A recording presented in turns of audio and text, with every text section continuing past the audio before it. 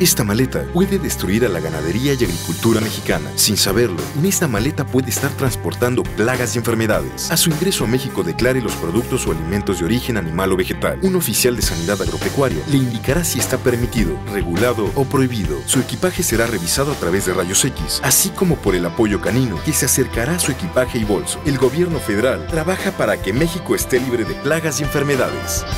Vivir mejor. Gobierno federal.